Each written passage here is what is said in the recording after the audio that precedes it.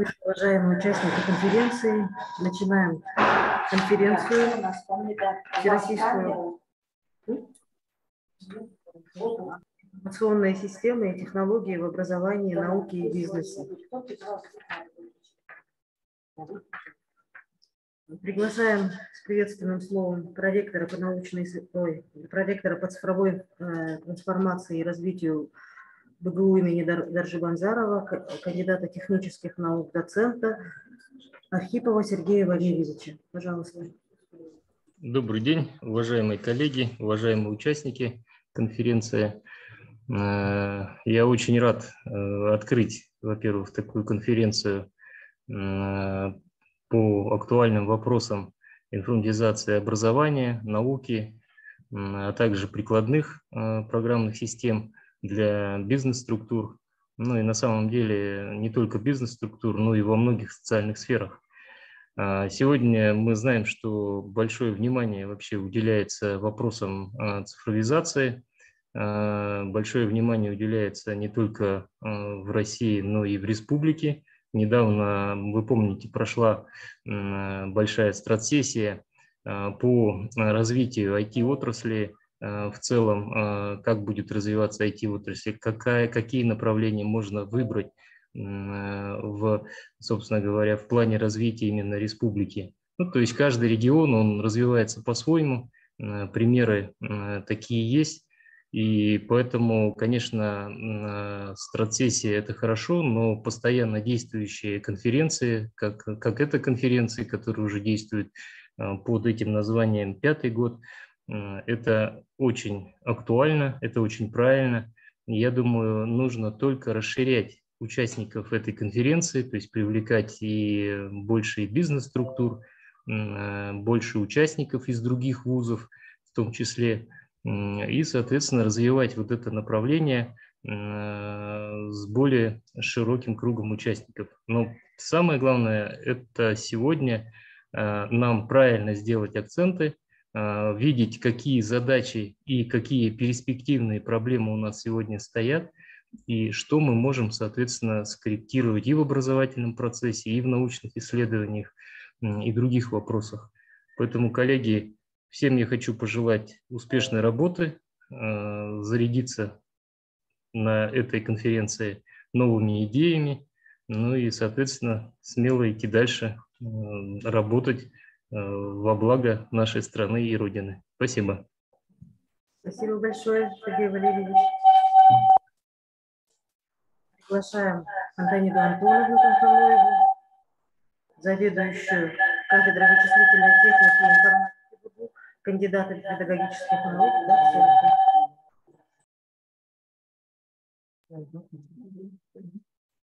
Здравствуйте, уважаемые участники конференции, гости, коллеги, дорогие студенты.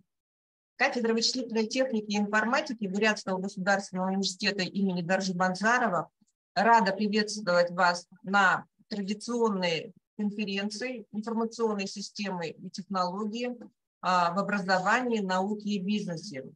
Конференция проводится как, а, в пятый раз она является своего рода продолжателем конференции «Инновационные технологии в науке и образовании», а, которая проводилась кафедрами машиноведения и вычислительной техники и информатики физико-технического факультета, а, которая также была проведена пять раз, но проводилась она с частотой один раз в два года. А, с 2019 года кафедра вычислительной техники и информатики проводит ежегодную конференцию. И вот э, в формате таком, как она у нас э, звучит, информационной системы технологий в образовании, науке и бизнесе. А в период пандемии э, мы перешли но на онлайн-платформу, и это оказалось очень удобным для многих участников из нашей страны, поэтому мы сейчас работаем на онлайн-площадке.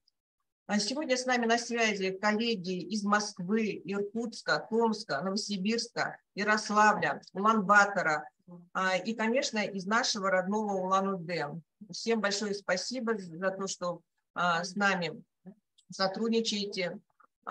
Хотим поблагодарить за постоянное сотрудничество с нашей кафедрой, кафедру информатики и информационных технологий в экономике Бурятской государственной сельскохозяйственной академии имени Филиппова, кафедру компьютерной графики Восточно-Сибирского государственного университета технологий и управления, ООО «Байкал Медсистемс», ООО «Снежный барс», ПАО «Ростелеком», Республиканский медицинский информационно-аналитический центр, детский технопарк «Кванториум».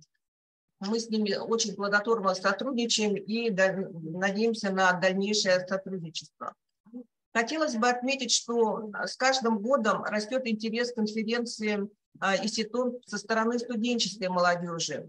Студенты и выпускники направления информационной системы и технологии физико-технического факультета БГУ, студенты направления математическое обеспечение и администрирование информационных систем Института математики и информатики, а, студенты колледжа по специальностям информационной системы и программирования и компьютерной системы и комплексы являются не просто гостями конференции, они являются активными участниками и авторами научных а, статей.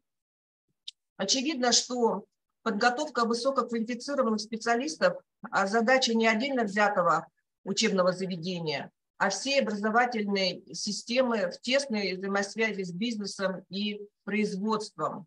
Ну и поскольку в названии нашей конференции отражается прогресс интеграции различных уровней и организационных форм образования, науки и бизнеса, а предлагаем на нашей площадке обменяться знаниями и мнениями по данным вопросам.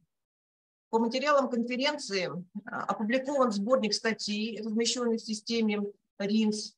А, в течение двух а, дней авторам будет разослан электронный вариант. Желаем всем участникам и гостям конференции успехов, здоровья, плодотворной работы, новых идей и эффективного взаимодействия. Спасибо. Приступаем к пленарным докладам. Приглашаем Наталью Николаевну Шадрину, доцента кафедры фундаментальных наук МГТУ имени Баумана, доцента кафедры математики Московского политехнического университета города Москвы с докладом «Особенности преподавания курса «Дискретная математика» в некоторых московских вузах». Наталья Николаевна, пожалуйста. Да, спасибо большое. Э, слышно, да, меня? Да, слышно. Прежде всего, хотелось бы поприветствовать своих коллег. Очень рада всех видеть. А, Хотелось бы поблагодарить особо Антониду Антоновну за то, что она меня пригласила участвовать в конференции, потому что мне тоже очень хотелось поделиться своим опытом.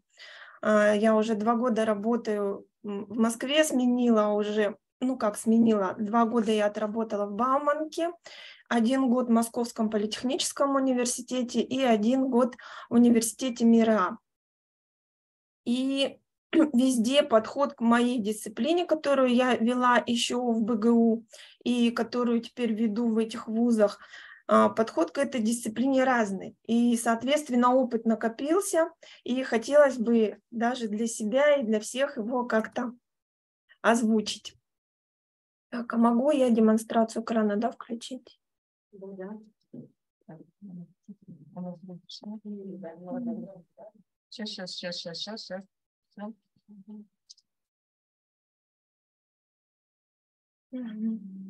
Так, вот видно мой экран, да? Видно. Так, ну, название, наверное, я не буду сейчас, название уже сказали, э, поэтому можно его опустить. Сразу перейду, при, э, собственно, к предмету, о котором пойдет речь.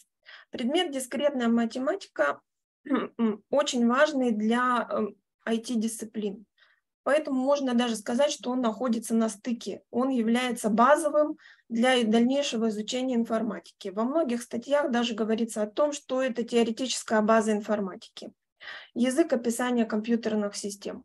Поэтому без изучения этого предмета трудно говорить о качественной подготовке, именно э, профессиональной подготовке э, специалистов IT-дисциплин которой мы все, собственно, и занимаемся. А, и я, так как попала в два института, в которых подход к изучению этого предмета диаметрально противоположный, я бы даже так сказала.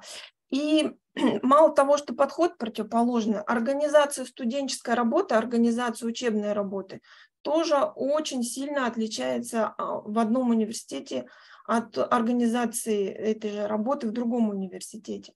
И поэтому мой доклад построен на сравнении изучения этих дисциплин. А, ну, во-первых, вы сейчас на, на экране у себя так. Вы на экране видите, я зашла в систему дистанционного образования Московского политехнического университета. А, в этой а, системе находятся все студенты и очень активно ею пользуются. Я бы даже сказала, чрезвычайно активно. А, у каждого студента есть свой личный кабинет, и э, такой же личный кабинет есть у преподавателей. Что я могу посмотреть в своем личном кабинете как преподаватель э, дискретной математики?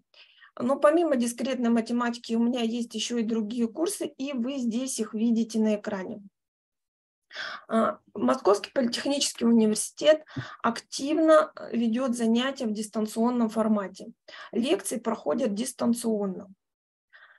И экзамены и зачеты принимаются дистанционно. Вот сейчас, буквально через 50 минут, у меня начнется дистанционный прием экзамена по дисциплине теория вероятности, а дисциплина дискретная математика у меня была в прошлом семестре. Вот те курсы, к которым я имею доступ, и вы видите, первый курс – это промежуточные аттестации, повторные по э, дисциплинам кафедры. Это для того, чтобы студенты могли сдать э, перезачет. То есть те, кто не сдал, те, кто сдал на двойки, те, кто не явился на основной экзамен, или те, кто хотят повысить оценку, но таких очень мало, но они тоже есть – все они проходят через вот эти повторные промежуточные аттестации. Создается комиссия, и дистанционно здесь принимаются эти зачеты. Но прежде чем принимать зачет, я немножечко расскажу про семестр. Вот у меня есть курс «Дискретная математика». В этом курсе он доступен для студентов, и весь предмет, э, весь курс «Дискретная математика» разбит на разделы. Дело в том, что предмет «Дискретная математика», он очень объемный, и до сих пор не всегда совпадают те темы, которые даются. В разных университетах могут даваться разные темы.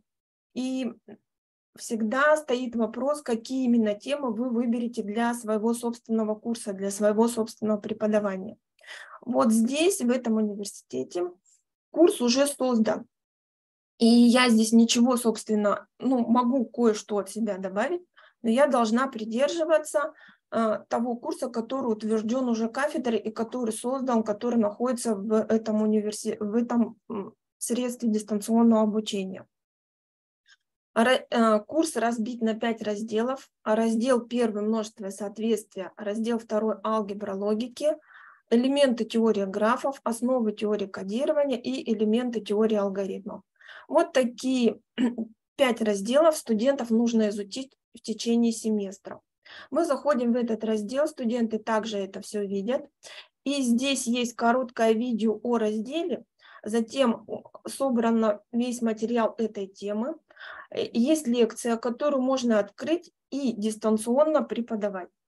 И, в общем-то, с одной стороны, это очень облегчает работу, потому что все уже написано и сделано. Мы можем сюда зайти, ее открыть, для себя скачать вот немножечко сейчас будет долго открываться, потому что, видимо, ресурсы компьютера еще тратятся на, на конференцию.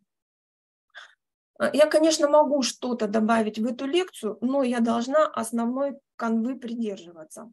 Э, основано это все на том, что э, один преподаватель может вести лекцию, второй будет вести практику, а принимать экзамены будет третий преподаватель.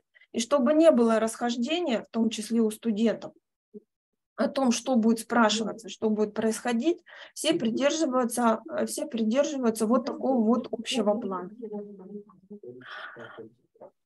Далее студенты, для того, чтобы провести практическое занятие, у меня тоже есть практика. Так, ну вот здесь сейчас вот он подвис немножечко. Тогда я ее просто вот здесь открою. Я их заранее себе накидала. Предполагала, что будут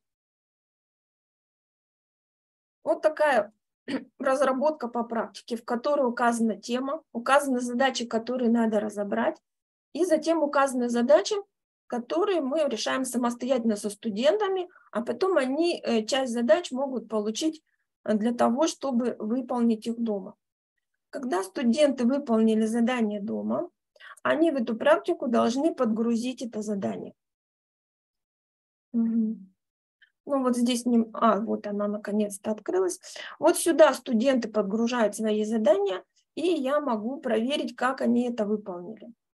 Ну вот сейчас я немножечко на этом курсе не смогу вам показать, как происходит оценивание, потому что этот курс в прошлом семестре уже был, и он сейчас закрыт.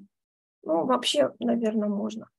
Нажать просмотр всех ответов. Здесь перечисляются студенты. Я выбираю того, кто не выполнил задание – вот, например, задание отправлено для оценивания, и оно уже оценено. Нажимаем на оценку. Перед нами задача, которую выполнил студент. Мы ее открываем, себе скачиваем и можем проверить. Открываем, смотрим, как задание выполнено. Закрываем и ставим оценку. Здесь оценка уже стоит, оценка 4. И таким образом можно проверить все домашние работы всех студентов. Это можно делать не обязательно дома, сидя за компьютером. Я очень часто делаю это, когда, пока еду на работу. То есть у меня с телефона все это тоже открывается. То есть пока я какое-то время нахожусь в дороге, я могу открыть, посмотреть, проверить эти домашние задания. После того, как все разделы пройдены, все пять разделов, так, давайте мы сюда вернемся, курс, пройдены все пять разделов, есть раздел «Итоговая аттестация». Туда тоже студенты заходят и выполняют тест на экзамене. На экзамене выполняется итоговый тест для студентов. Преподаватель может все это посмотреть, сразу все группы, все выполненные задания, все оценки, проставленные за эти задания, может посмотреть, как студент выполнил итоговый тест. То есть мы сами не проверяем этот тест, тест проверяется автоматически, и у нас уже здесь стоят оценки, на экзамене можно воспользоваться. Давайте я сейчас попробую открыть. А, ну, долговато здесь открывается.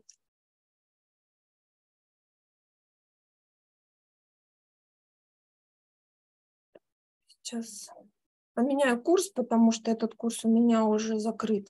Сейчас у меня идет курс теория вероятностей. Я открываю раздел который мы сейчас проходили, пятый. Выбираю практику, выбираю группу. Вот сейчас ко мне на экзамен должна прийти группа 211 721. А, и могу посмотреть, как они все все выполняют. Для этого у меня есть просмотр, а, просмотр журнала оценок. Грузиться, правда, будет долго. И вот по всем этим по всем студентам, по всем их заданиям в течение семестра у меня есть полный отчет. И такой способ, он, с одной стороны, очень хороший тем, что преподаватель экономит свое время, находясь на экзамене, можно одновременно зараздать всем студентам тесты, они их выполняют. А плох он тем, что у нас есть достаточно умные студенты, которые открывают сразу несколько гаджетов и без труда проходят эти тесты. И э, никто не отменяет беседу. В принципе, потом, после того, как студент... А, а, ну вот в итоге теста, кстати, не все студенты такие умные, не все студенты даже умеют списывать. Некоторые студенты даже этот тест не могут сделать.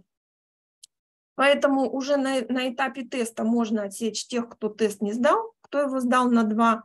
А потом, если есть какие-то сомнения, чаще всего Сомнений нет, потому что в течение семестра студенты с тобой работали, ты примерно знаешь, кто на что способен, ты примерно знаешь их э, потенциал, что они знают, что они умеют, как они прорешивали задачи, и, в принципе, ты уже готов их оценить по результатам теста. Но если какие-то возникают нюансы, ты можешь задавать вопросы. А, и смотреть уже, как студенты отвечают, и тоже выставлять свою оценку. Вот сейчас ко мне придет группа. Оценки я тоже выставляю в личном кабинете. Это уже другая электронная среда, здесь другой пароль, это только мой личный кабинет.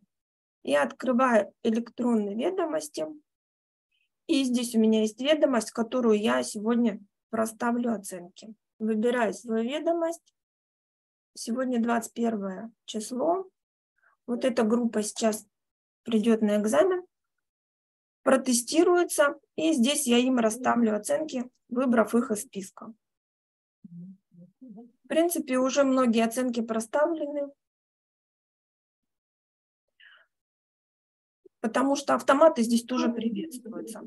Еще преподаватели говорят о том, что экзамен очень выгодно, ну не выгодно, а экзамен хорош тем, дистанционный экзамен хорош тем, что можно а преподаватель может себя в какой-то мере защитить, потому что экзамен постоянно записывается, вебинар идет запись. В случае какой-то конфликтной ситуации можно просмотреть эту запись. Конфликтные ситуации бывают очень часто, ну не часто, но бывают, потому что студенты учатся здесь платно, обучение стоит очень дорого, и если студент не сдал по какой-то причине, но чаще всего потому что не ходил, и а, студент начинает обвинять преподавателя в том, что он не сдал, что ему задавали неправильные вопросы, на него давили, его как-то неправильно оценили. И вот тогда вот эта запись экзамена, она является таким, так сказать, методом защиты, ее можно пересмотреть и сделать вывод о том, насколько все было корректно и правильно. Ну, такие, повторю, случаи, они не часты, но бывают. Бывают такие случаи, и вот такой механизм здесь разработан. Так, и то, что касается, еще немножечко остановлюсь на такой специфичной теме, как э, э, содержание предмета. Как я уже сказала, дисциплина очень объемная, очень много междисциплинарных связей. Какие-то вузы, какие-то преподаватели делают акцент на э, булевых функциях, на одном разделе, какие-то преподаватели делают акцент на теории графов, какие-то берут за основу теорию автоматов. И вот здесь достаточно по сравнению с, преподавателем, с преподаванием в Бауманском университете, здесь вот эти все темы, которые я вам только что показывала, они достаточно... Так, я сейчас отсюда уйду. Здесь у меня ошибка произошла. Обновим. Да, даже лучше. Вернемся в курс.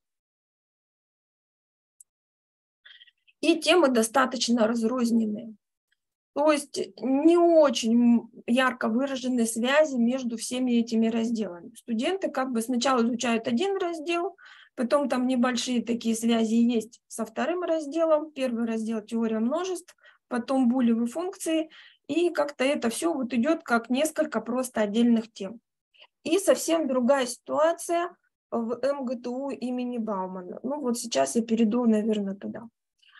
МГТУ имени Баумана я уже работаю два года, но дискретную математику вела только вот первый семестр. И у меня сложилось такое ощущение, что я ее до этого вообще никогда не вела. То есть настолько а, подход к изучению этого предмета абсолютно отличается от тех, которые были моем педагогическом опыте до этого? Ну, во-первых, сам, само образование здесь, можно сказать, что очень традиционное. А, здесь э, нет такой привязки к СДО, но электронная среда, конечно, у студентов есть, они заходят, они также могут посмотреть лекции, но ничего дистанционного, никаких дистанционных занятий здесь близко не допускается. Лекции только очно, семинарские занятия, естественно, только очно, экзамены только очно. Причем экзамен, можно сказать, что у них не в конце семестра, а экзаменуются они в течение семестра очень строгий контроль за то, как студент учится в течение семестра. Вот сейчас вы видите на своем экране, видите, да, мой э, личный кабинет в электронном университете. Здесь у меня группы ну вот здесь можно посмотреть, какие вообще у нас есть курсы. У нас есть аэрокосмический факультет, биомедицинская техника, очень интересные курсы. Вот есть для лиц, э, с, для э, профессиональной реабилитации лиц с а, ограниченными возможностями. Я столкнулась э, с этими студентами в этот, в этот раз. С ними э, это три студента, которые не очень хорошо слышат и не очень хорошо говорят. С ними есть сопровождающих человек-переводчик. Они сидят на занятиях вместе со всеми студентами, рядом напротив них сидит переводчик, сурдопереводчик, и поясняет им то, что, допустим, я говорю, а они это плохо расслышали, а некоторые, может, вообще не расслышали, и она им как-то на пальцах показывает, что надо часто обращается ко мне, просит побольше писать на доске. Ну, им так, конечно, лучше видно. Ну, и я, когда стала это все выполнять ее просьбы, я поняла, что и для остальных студентов это тоже полезно. Поэтому стала все свои занятия так и организовывать. И на доске побольше писать, и объяснять побольше, и повторять там несколько раз. Вот. Я веду на специальности системы обработки информации управления. Вы видите, сколько здесь групп. Группы все многочисленные. Вот в этой группе еще 22 человека, а вообще есть группы, ну, примерно группы по 30 человек. Маленьких групп здесь практически нет.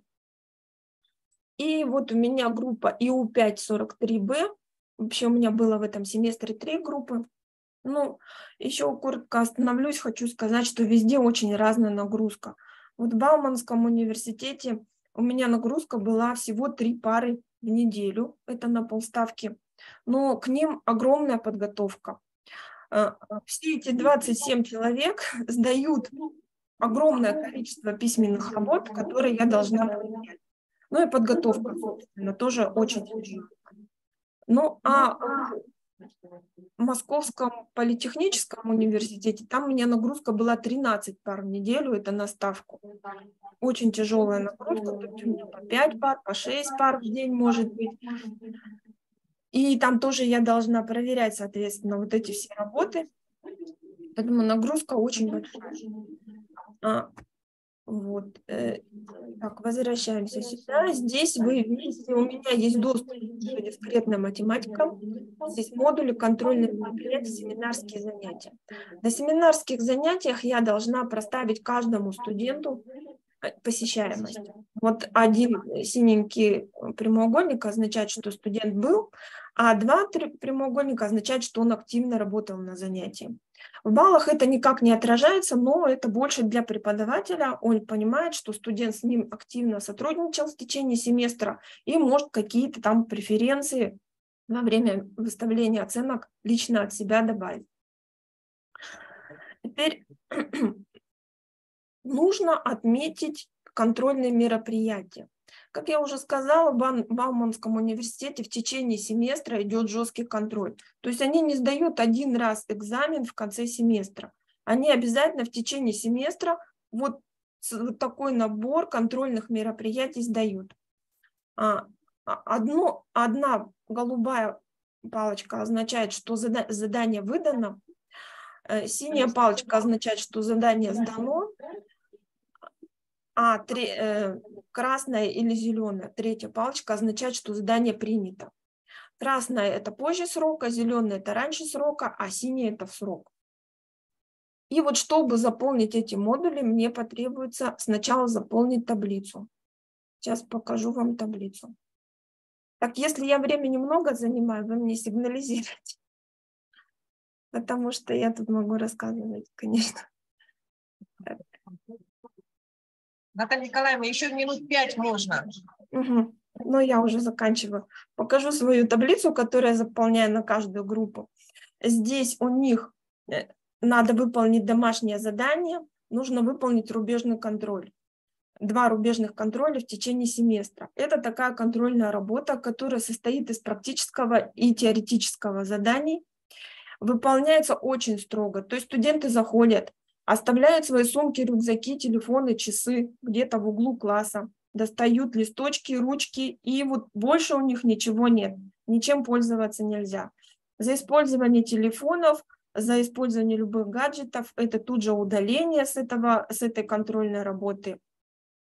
И вы знаете меня, насколько я мягкий человек, но мне, я уже открыла свой счет, уже и двойки ставлю, и удаляю с экзамена, ну, потому что это такая система, и в этой системе я должна вести себя именно так. Вот э, здесь что интересно, что э, нужно обязательно набрать какой-то минимум, иначе задание не будет зачтено. И если студент вот эту таблицу всю с баллами не заполнил, он к экзаменам не допускается. То есть хотя бы одно из контрольных мероприятий не дано, он к экзаменам не допущен. И здесь очень строго, очень много отчисляется людей. У них есть даже поговорка, что Бауманку легко поступить, но и легко оттуда вылететь. Особенно на первом курсе очень много людей отчисляется. Но я на первом курсе не веду, у меня второй курс. И там тоже регулярные чистки происходят, все достаточно жестко. Но с другой стороны, я хочу сказать, что дети очень стараются учиться. Вот посмотрите, у меня группа, и вы видите, что они практически все ну, вы видели по семинарским занятиям, что они все ходят, практически все ходят.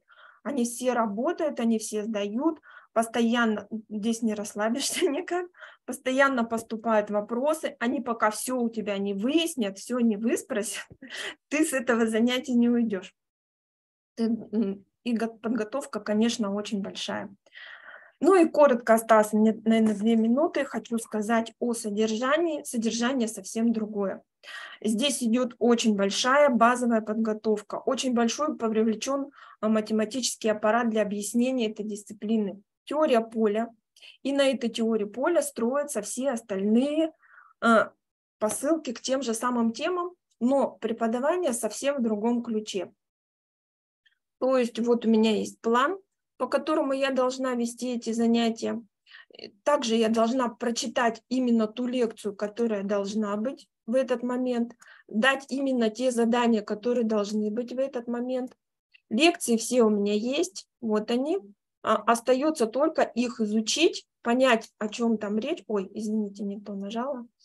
Понять, о чем там речь и изложить. С одной стороны, это большое подспорье, а с другой стороны, все это понять, это тоже очень огромный труд. Я пользуюсь и учебниками, и хожу э, на занятия к другим преподавателям, чтобы понять, о чем речь, потому что я на таком уровне дискретную математику никогда в жизни не видела.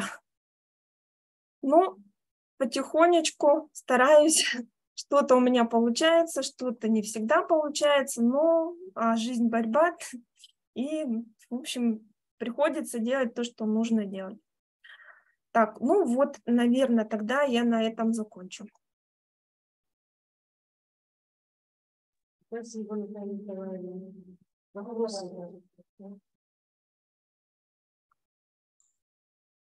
Так, я хочу демонстрацию остановить. Наталья Николаевна, спасибо большое за интересный доклад, даже обзор всех информационных систем, где вы работали. Меня вот заинтересовал момент с электронными ведомостями, э, которые вы нам показывали. То есть фактически вы подписываете а, электронную ведомость и потом уже бумажную не заполняете. Я правильно вас нет. понял? Нет, я не заполняю уже больше ничего. Э, То есть там какая-то... электронная подпись есть в этом университете, у них своя разработана, я к этому руку не прикладывала. И то есть мне достаточно после заполнения нажать на кнопку, что все заполнено, и она автоматически уходит. Да, это очень интересное решение. Но я тоже такие решения уже видел, не первый раз на конференциях. Там это все во время пандемии. На самом деле многие вузы доработали. Нам надо такую вещь тоже у себя в университете внедрять. Берем на вооружение. Спасибо вам. Да. А, еще один вопрос. Вы говорили про, про проведение занятий в онлайн-режиме. Это значит, что оно полностью целиком в онлайн? Или там прямо у вас аудитории оборудованы, где можно проводить и офлайн, и одновременно онлайн транслировать? Это ну, аудитория, это, эти занятия онлайн, они в Мосполитехе, там толком ничего не оборудовано, нужно приносить свой ноутбук. Ты можешь принести на занятие ноутбук, включить Zoom, и у тебя студенты могут и присутствовать Понятно. в классе, и где-то там. Это приветствуется, но не обязательно пока. Но скоро Все будет понял. Ну, обязательно. То есть как бы там это Э, ну, просто там при этом вы говорили про видеозапись и так далее. Мне показалось, что если видеозапись и прочее, там что-то университет предоставляет. То есть, э, видеозапись, я говорила, видеозапись ведется экзамена, и студент открыв... а, университет открывает вебинар, и э, вебинар ведет эту запись. Но экзамены я все сдаю, э, принимаю из дома. А там система какая? Своя или webinar.ru? Там что они используют? Webinar.ru, они там все. Понятно, понятно. Ну, мы тоже такую систему покупали, она достаточно дорогая.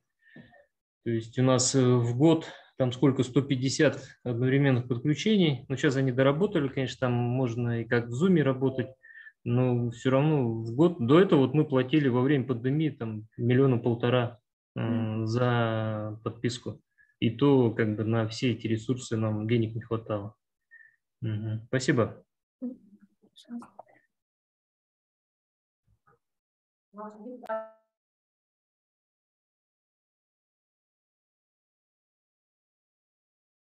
Так, ну, тогда, дорогие коллеги, я очень рада вас всех увидеть, хотя где-то далеко вы там сидите.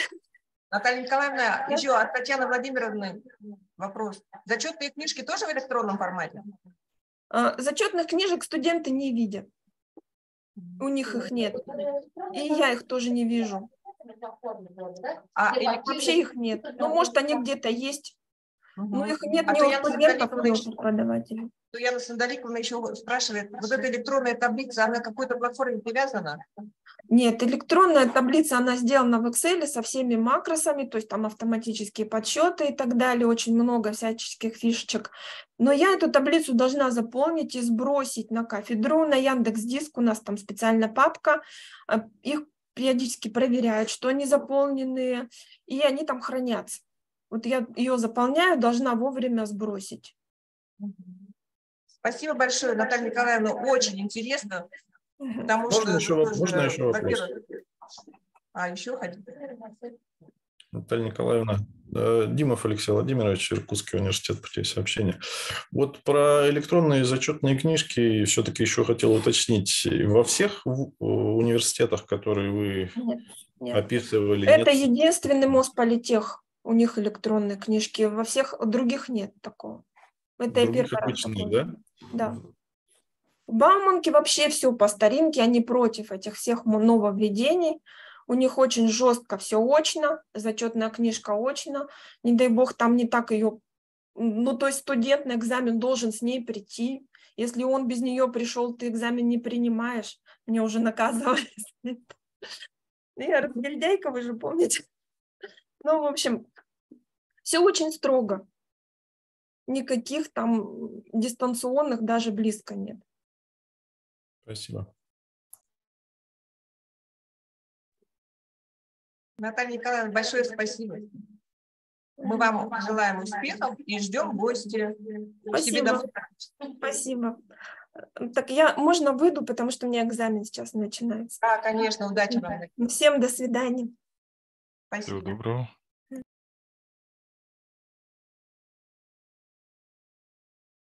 Следующий участник нашего заседания Алексей Владимирович Димов, проректор по научной работе Иркутского государственного университета путей сообщения ДОД о цифровизации образования в Иркутском государственном университете путей сообщения.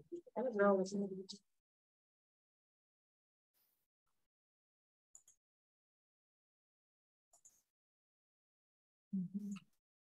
Коллеги, добрый день. Меня слышно, видно? Презентацию видно? Да. Да, все слышно, видно.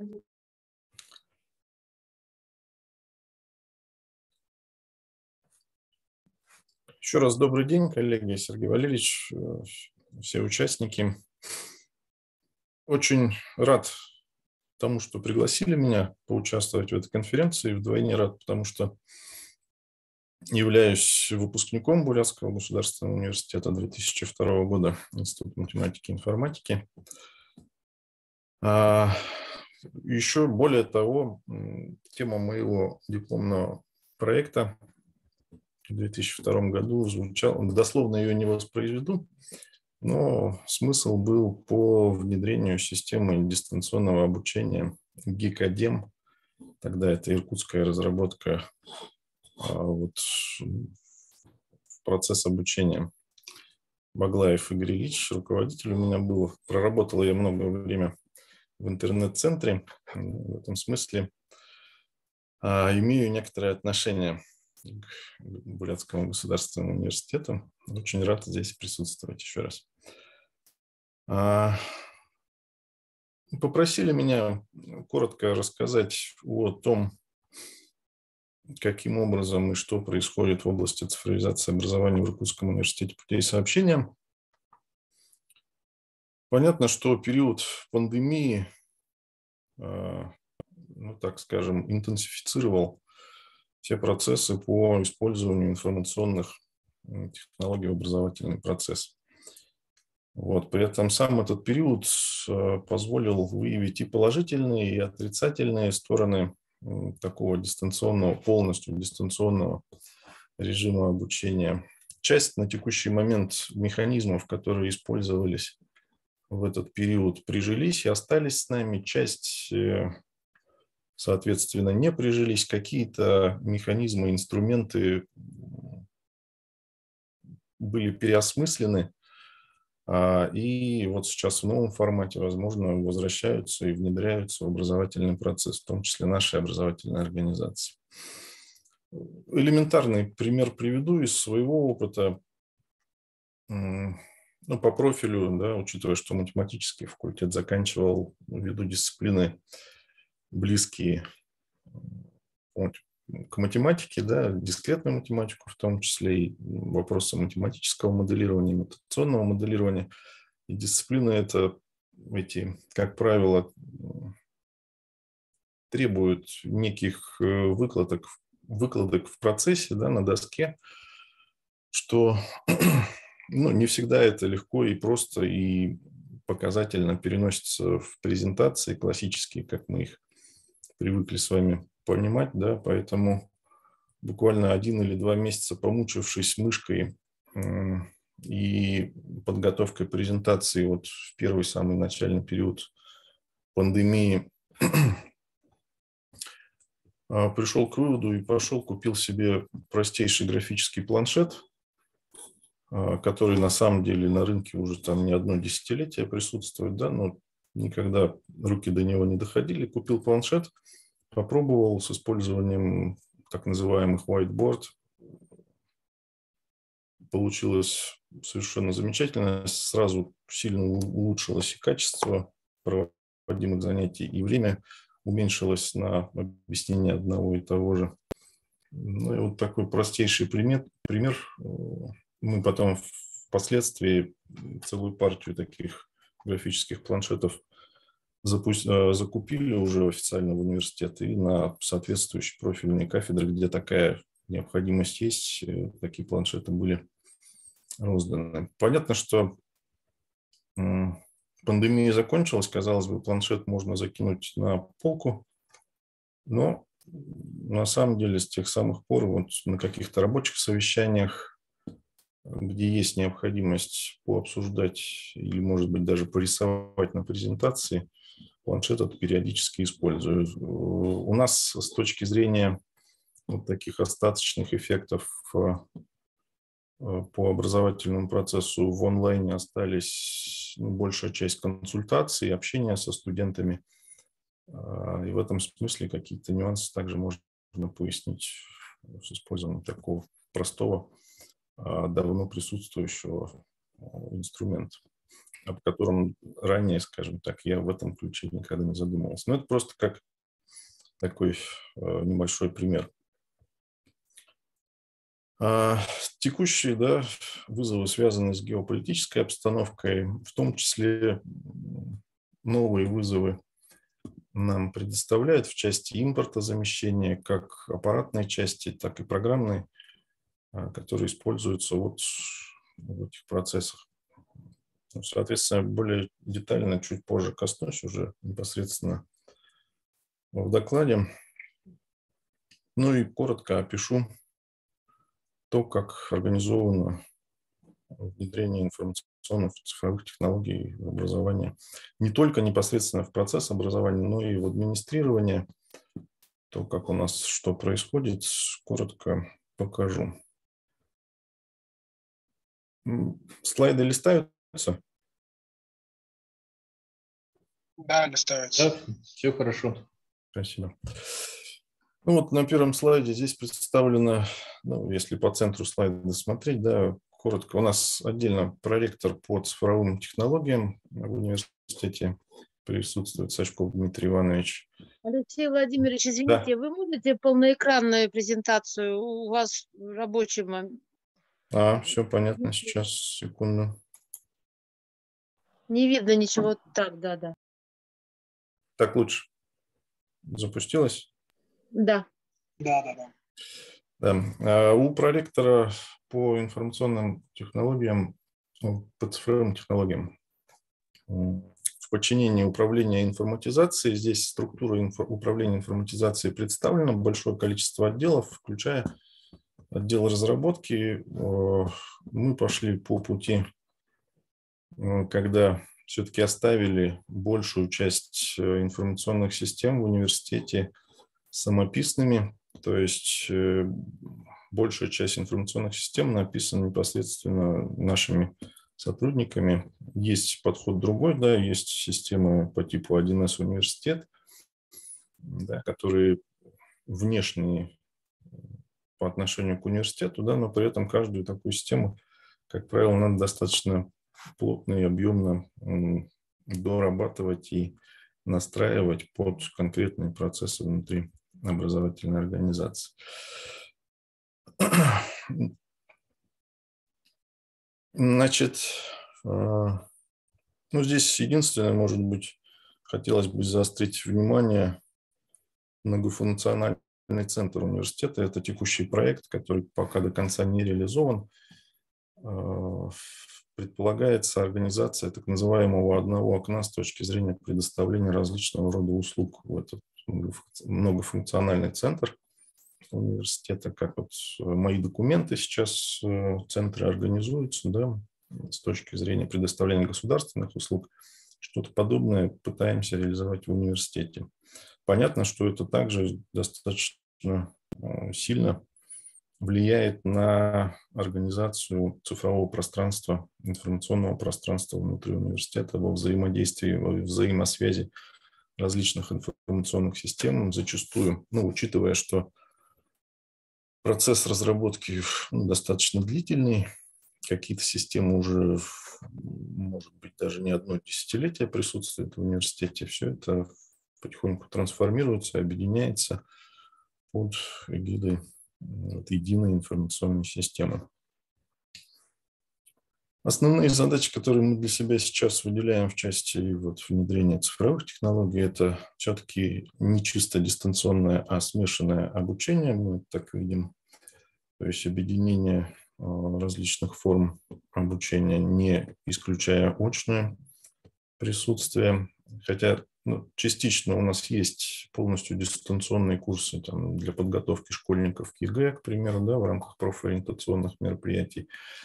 Что касается а, повышения, института повышения квалификации, там также более глубоко, так скажем, проникли дистанционные формы обучения полностью. С точки зрения классического подхода здесь все-таки больше смотрим в сторону смешанного. Импортозамещение уже сказал, цифровизация – обязательный вопрос кибербезопасности, учитывая все большее проникновение этих вопросов в такие важные процессы. Развитие человеческого капитала, преподавательского состава, ну и вступление и организация различного рода консорциумов, потому что есть понимание, что одному университету таких глобальных процессах цифровизации ну, практически, наверное, не справится, поэтому здесь необходимо э, объединение усилий различных структур и э, организаций. А здесь на слайде представлены э, основные вызовы и проблемы, которые мы видим. Это развитие инфраструктуры IT, да, вопросы и проблемы управления данными, которые накапливаются, да, и вопросы анализа больших данных э, здесь лежат, да, внедрение новых цифровых продуктов и услуг и развитие кадров непосредственно. А, ну, если говорить про IT-инфраструктуру, здесь коротко представлена такая упрощенная схема организации сети университетского комплекса. Э, у нас есть филиалы в Чите, у нас есть филиал в улан техникум железнодорожный, у нас есть э, подразделения и обособленные подразделения в Иркутске, тоже среднее профессиональное образование. У нас есть филиал в Красноярске.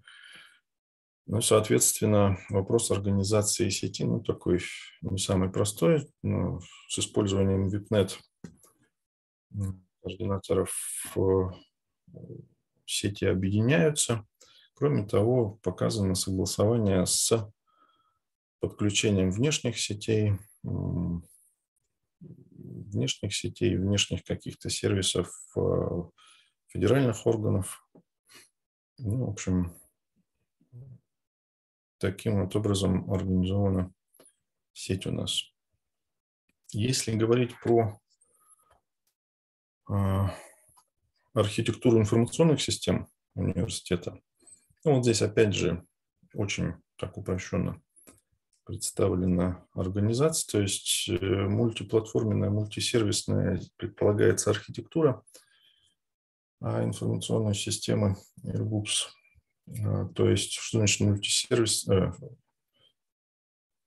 микросервисная, да, то есть э, отдельные сервисы, то есть представляется некоторая базовая часть, да, которая представляет API определенная, да, и уже отдельные какие-то задачи, вопросы, сервисы, модули могут разрабатываться, в том числе сторонними разработчиками. У нас студенты привлекаются, в том числе к процессам каким-то, ну, которые дозволительно, скажем так, увести на разработку студентов, к разработке каких-то модулей, которые, возможно, им более удобны. Там, например, у нас такой проект там есть с расписанием. Да, часто бывает так, что мы свой сервис по представлению расписания там, в личном кабинете, еще где-то на сайте представляем.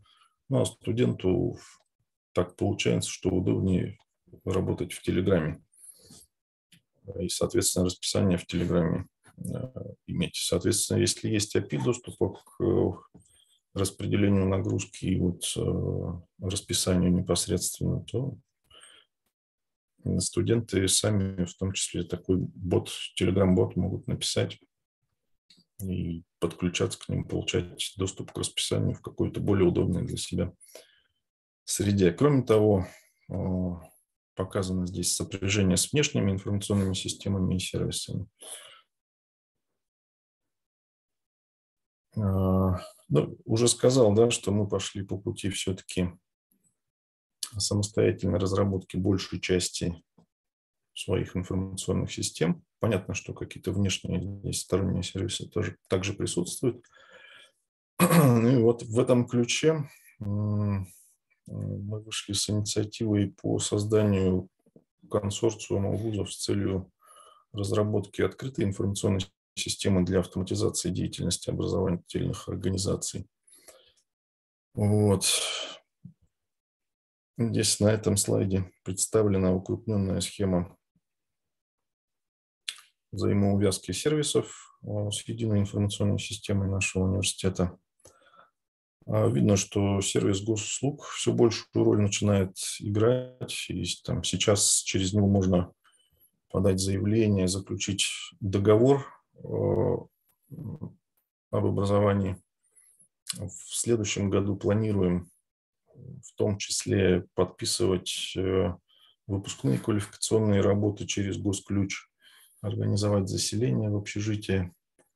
и также заключение договоров на проживание, то есть вот через сервисы, которые предоставляются в том числе государством. В период пандемии также у нас э, полностью ведомости были переведены в электронный режим, то есть в личном кабинете преподаватель заполняет, выставляет оценки. А, в личном кабинете студент может заказать ну, так называемый бегунок, электронный экзаменационный лист, который появляется в личном кабинете преподавателя, преподаватель в него проставляет. Ну, то есть вот такие аналоги бумажных изначально технологий сейчас полностью у нас в электронный вид переведены. А в том числе и процесс э, согласования э, выпускных квалификационных работ. Э, также полностью автоматизирован. Единственное, что вот именно подписывание выпускных квалификационных работ с точки зрения подписей, да, ну вот, он тоже был реализован на базе нашего внутреннего удостоверяющего центра, но видим сейчас, что все-таки надо усиливать вот этот момент, и на госключ предполагается переход здесь с точки зрения подписания выпускных квалификационных работ. Вот. Сейчас, секунду. Ну, теперь, собственно, непосредственно про цифровых технологий в образовательном процессе. Ну, частично уже я проговорил то, что использовалось. Да? Кроме того, в период пандемии у нас была закуплена студия самозаписи с прозрачным, с прозрачной доской, на которой можно было а, либо непосредственно лекции читать, но это все-таки занятость большую организовывал этой аудитории одной, да, и не совсем удобно было. В большей степени, конечно, использовалось для подготовки каких-то видеопрезентаций, видеолекций, а, где можно было непосредственно как с обычной доской работать. Кроме того, если говорить про импортозамещение, да, вот, учитывая текущую ситуацию,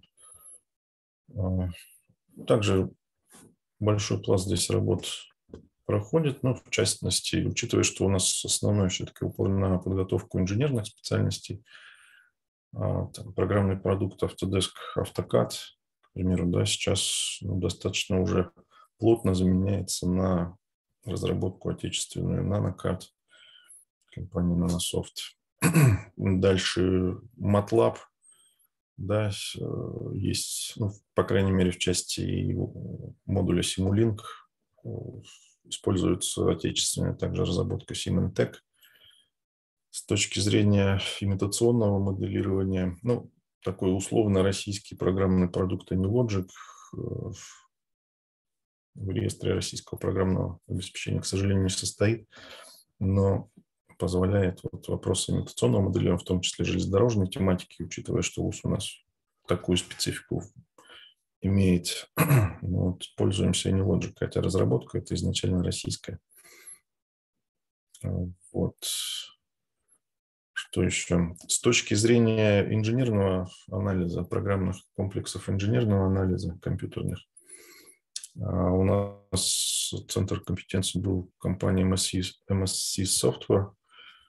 А, в этом смысле также вступили в консорциум и взаимодействие налаживаем с Росатомом. Есть у них программный продукт Logos, который в том числе вот вопросы моделирования инженерного анализа, а, математического моделирования. Достаточно достойный продукт здесь показывает, и переходим в том числе на эти рельсы. А, дальше. Здесь какие-то элементы инженерного анализа. В 2021 году у нас на базе университета была организована стартап-школа «Цифра». Стартап-школа, с одной стороны, достаточно четко позиционирует это структурное подразделение, но не все так просто. Понятно, что в этом подразделении проходят у нас различные акселерационные программы для студентов, где они могут свои э, проекты э, представить, доработать. довести до некоторого уровня готовности и дальше уже предлагать, либо защищать, может быть, ВКР в виде стартап как диплом, но в том числе вот, часть проектов, которые даже студенты также в, этих, в этом подразделении делают, либо э, непосредственно наставники, которые задействованы, это и проработка в том числе новых методов и технологий для именно образовательных технологий. Да, это вопросы VR, AR, да, виртуальная реальность, дополненная реальность. А здесь вот часть проектов представлена. Сейчас. Либо это ссылки на видеоролики, которые показывают тот или иной э, момент реализованный. То есть возможность с использованием соответствующего оборудования э, поработать э, либо в локомотивном депо, ну, как вот опять же, учитывая нашу специфику, хотя она не только этим ограничивается, да, разобрать какие-то детали, посмотреть, э, детализировать, попробовать запустить там локомотив и полностью весь процесс провести э, непосредственно в, реальной, э, в виртуальной реальности, прежде чем переходить даже на реальные тренажеры, тем более на непосредственно производство. Вот. Организация 3D-туров по нашим, в том числе, лабораториям. Вот. Возможность совместного прорабатывать использование виртуального пространства с нескольких устройств для коллективной работы. Ну и варианты дополненной реальности для стандартных э, раздаточных материалов или учебников, где можно, наведя камеру смартфона, посмотреть, покрутить какие-то элементы подвижного состава, к примеру а, с разных сторон, да, рассмотреть, разобрать, опять же, увеличить какие-то детали. Дальше, ну и часть просто проектов в разной степени готовности, которые у нас либо реализованы, либо, либо в настоящий момент реализуются. Вот, в частности, разработка студенческая. Это Telegram-бот для организации опросов различного рода. А, в целом по вузам Иркутской области на этой разработке у нас опросы проходят, к примеру, там различные антинаркотические направленности, которые ежегодно мы обязаны проводить. Ну и для своих целей, в том числе, эту разработку используем. Telegram с авторизацией, там, с привязкой к специальностям, к группам, если надо это организовать. То есть э, ну, некоторая такая система, которая не только сам Telegram-бот, но и обвязку к нему предполагает с точки зрения формирования опросов, быстрых, оперативных, когда надо в небольшой период достаточно большой опрос там, нескольких тысяч студентов провести. Ну и для студентов это более привычно иногда бывает. А, автоматизация формирования выставления РПД-ФОС на сайт, а, так называемый шаблонизатор. Не знаю, как у вас организована эта процедура, но много проблем возникает с актуализацией, постоянным обновлением, доработкой этих э, вот, обязательных составляющих образовательного процесса. В этом смысле автоматизируем его максимально, чтобы уменьшить ручной труд здесь. Про МФЦУ сказал. Проект в стадии, скажем так, внедрения сейчас находится. Ну и стартап как диплом. В прошлом году у нас два таких диплома было защищено. А в этом году, по-моему, там в районе пяти уже предполагается, учитывая, что два года подряд мы выигрываем грант на акселерацию в рамках платформы НТИ. Там прямо обязательство там, по 50, по 70 проектов запускать студенческих. Но часть из них э, дорастает до, по крайней мере, такого результата. Так, ну, в целом по докладу у меня все. Готов ответить на вопрос. Спасибо за внимание.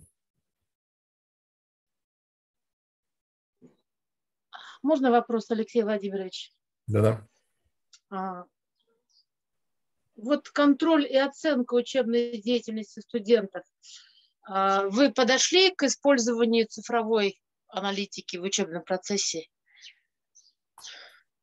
Ну, аналитики в каком смысле? То есть... Э, ну, хотя бы рейтинг формировать, хотя бы элементарно, вот, используя... Вот смотрите, данные. у нас, да, вот этот проект э, на слайдах отражен не был, да, но... Поэтому такая... я... Больная такая тема для нас – это вот э, цифровое портфолио.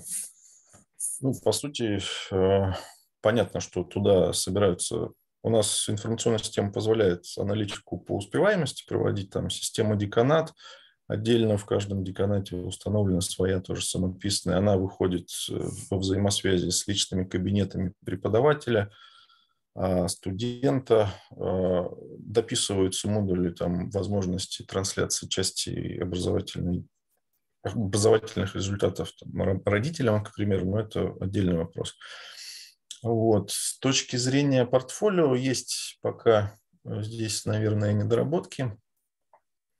С точки зрения ранжирования, положение на самом деле такое даже есть уже об электронном портфолио со всеми результатами, со всеми взаимосвязями с выходом на различного рода и уровня стипендий для вот ранжирования по показателям. Но вот именно портфолио пока у нас, к сожалению, ну, в том виде, в котором хотелось бы, не работает. То есть достижения свои студент может выставлять в личный кабинет, успеваемость фиксируется, все это есть, но не так, как, может быть, пока еще хотелось бы. Спасибо. Спасибо. Учитывая, что проработал деканом долгое время, вот почему предыдущий вопрос тоже задавал э, про электронную зачетную книжку, ну вот прям очень хотелось бы, э, ну, тут вопрос нормативной базы, как от нее избавиться, от бумажной э, зачетной книжки, с которой очень много вопросов по заполнению бывает, особенно когда студент уже подходит к выпуску. Алексей Владимирович, а скажите, пожалуйста, у вас Сетевые программы образовательные существуют, можно участвовать.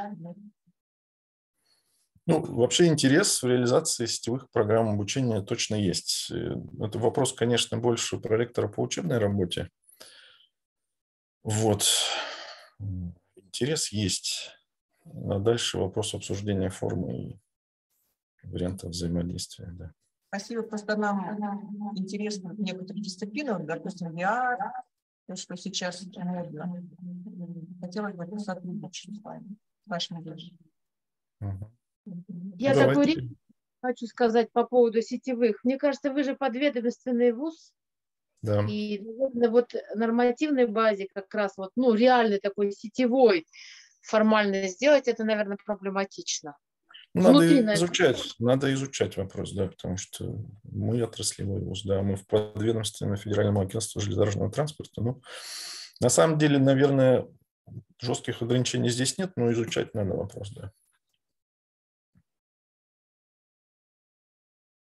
Ну, потому что у нас, например, вот между транспортными вузами вопросы сетевого взаимодействия, особенно те вузы, которые прошли в программу «Приоритет 2030», они ну, так явно тоже звучат.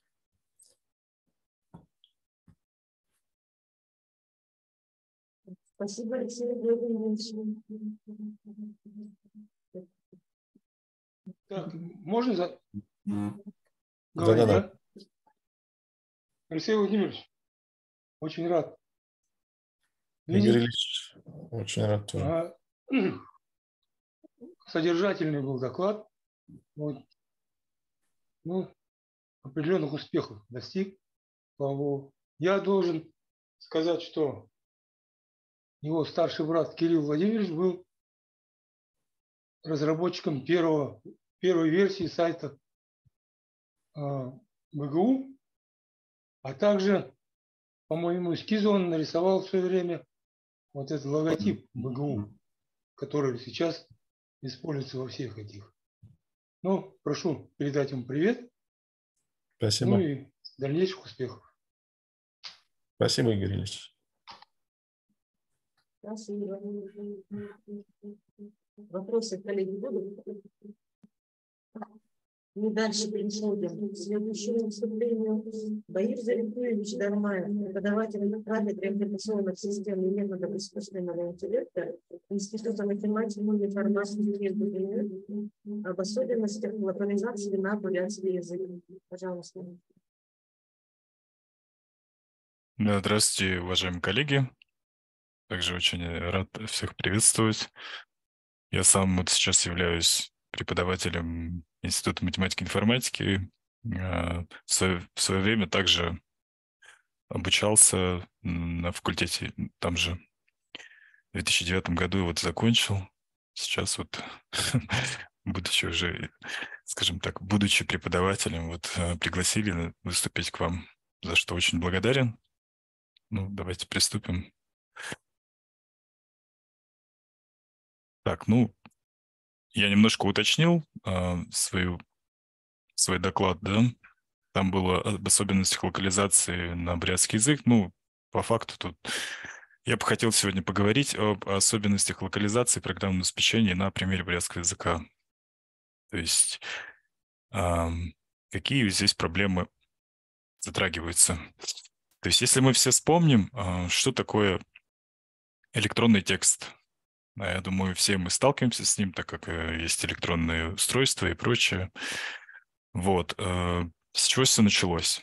Началось с того, что эм, в свое время с появлением телеграфов и цифрового передачи, цифровой передачи данных появилась э, необходимость каким-то образом кодировать текст. Ну, если вы знаете, да, я думаю, все здесь присутствующие точно знают, что у нас цифровой вид – это единица и ноль, то есть бинарное исчисление. Очень хорошо подошло к цифровому формату. А, так вот. Извиняюсь. Я вас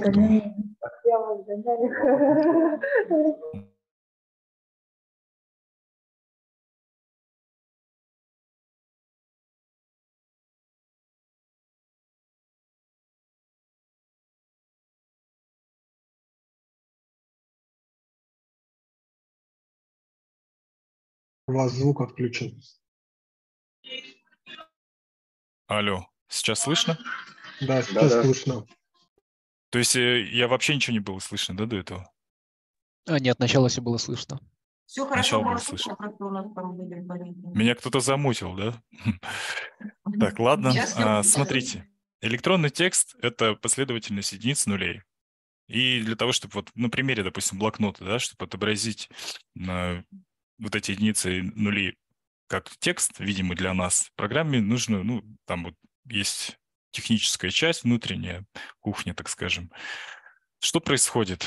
Тут у нас э, участвуют такие штуки, как кодировка, то есть вот эта последовательность нулей и единиц у нас соответствует с какой-то кодировкой, таблицы, код, кодовой таблицы, еще другими словами. У нас происходит преобразование на основе какого-то шрифта, преобразование этого текста в видимый для нас привычный вид. Потому что для компьютера это все единицы нули как бы. Вот. Этот, собственно, вот эту тему я хотел бы чуть-чуть подробнее раскрыть.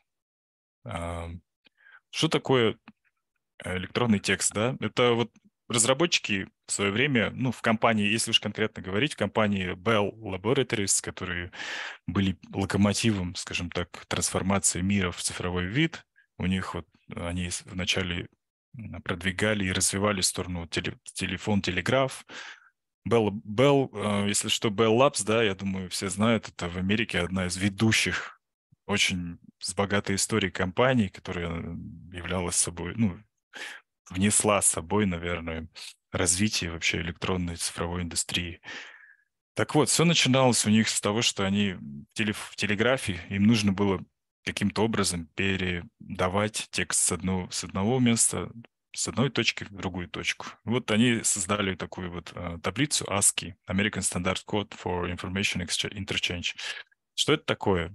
Это у нас просто таблица, где договорились, что вот какой-то цифры, ну, привыч... вот левый столбец – это вот наше привычное десятичное исчисление. А второй столбец – это шестнадцатеричное исчисление. И какой-то символ. То есть мы какой-то цифре договариваемся между собой, там, программисты, говорим, что вот все, вот такая таблица, вот такой цифре э, соответствует, допустим, данный символ. И так как это было в эпоху вообще зарождения всего этого IT, так скажем, а, американцы были на передовой, первопроходцами, скажем так. И вот 120, первые 127 символов они вот закрепили за собой, за своими символами. Они, конечно, постарались там максимально, чтобы это было интернационально, скажем так. Ну, это я вот забегаю вперед. Ну, вот желтая часть, допустим, да, это вот все первые 127 символов. Это так называемый ASCII код. Дальше уже по мере развития IT-индустрии а, в каждой стране люди и программисты там старались как-то вот э, использовать второй, второй э, ряд знакомест. Почему такое, почему поделение на две таблицы, скажем так, произошло? Да потому что в свое время при начале разработки, в истории, в становлении языков программирования у нас был использован один байт, всего лишь один байт для того, чтобы хранить э, любой вот код, любой символ. И в итоге в одном байте максимум мы можем хранить всего лишь 255 символов FF в 16-ричном исчислении. То есть и, и получается, что так как все в то время все программисты и скажем так, компании использовали однобайтовые кодировки, то, естественно, в каждой стране вот это свободное пространство, начиная с 205, 128 э, символа по 255, каждая страна использовала в, свой, в свою, скажем так, эм, пользу. Ну так вот, было, в то время было очень много создано таких однобайтовых кодировок.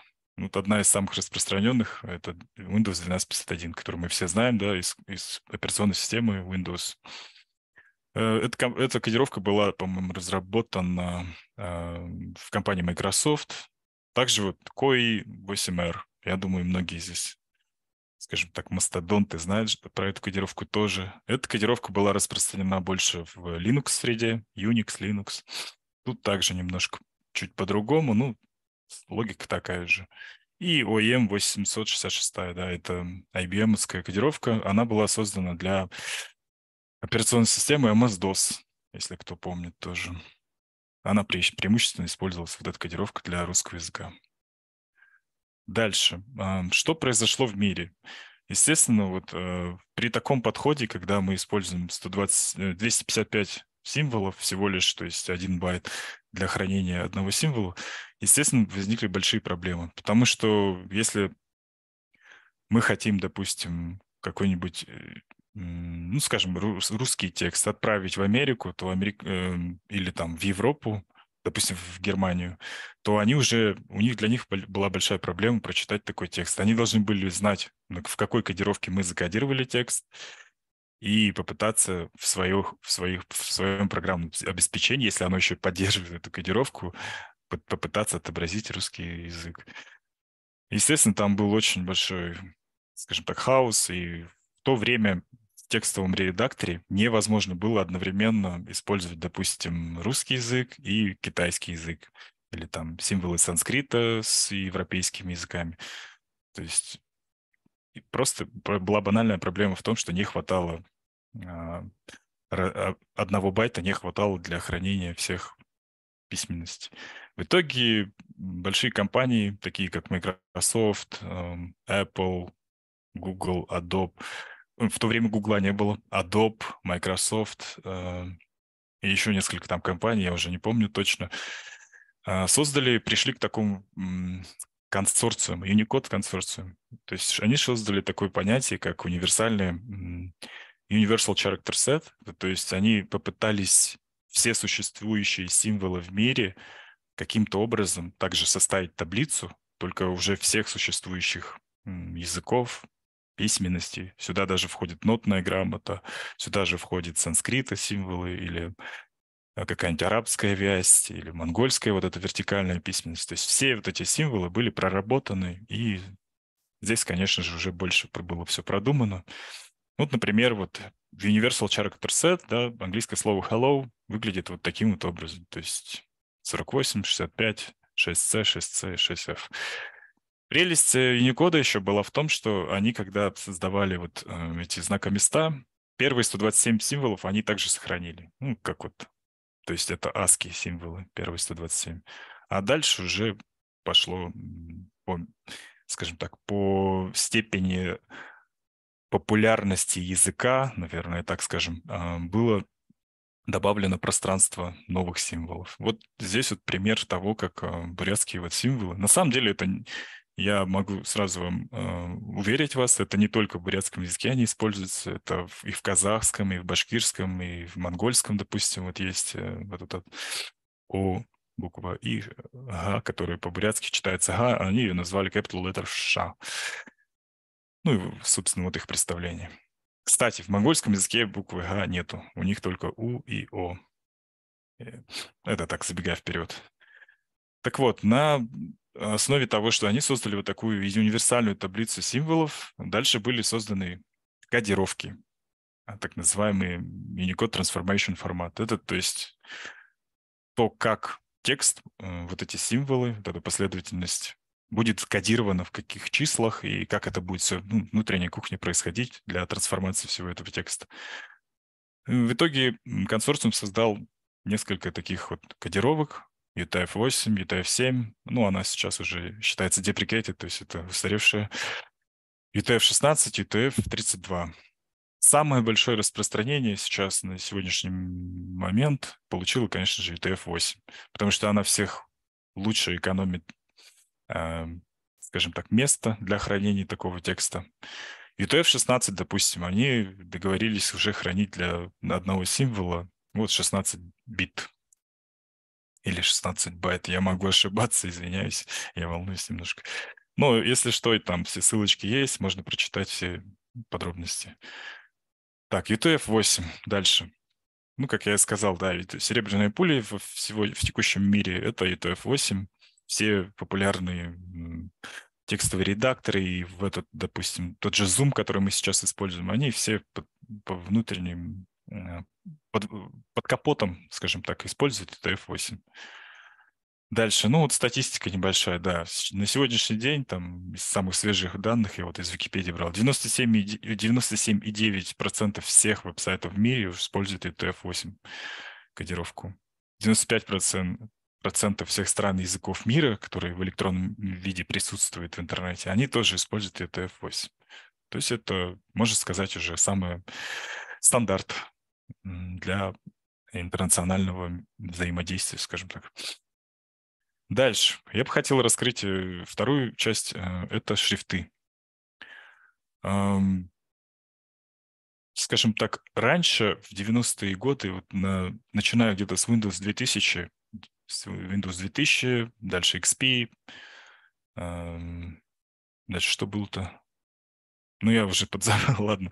В общем, начиная с 2000 Windows, уже Microsoft компания создала нам э, стандартные поставки с офисами и с самим Windows, очень много шрифтов, э, у которых уже была поддержка юникодовых символов. Ну, в данном случае, вот помните, да, шри... вот эти вот я специально шрифты подобрал, которые всем, я думаю, известны из офиса. Это Arial, Courier New и Times New Roman.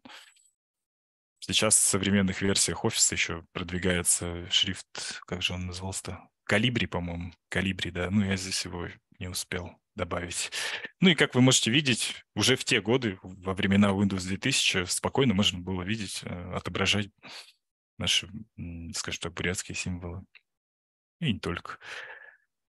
Так, ну и современных решений для шрифтов, где можно подобрать себе красивый какой-нибудь шрифт, э, естественно же, что первое, что приходит в голову, это Google Fonts.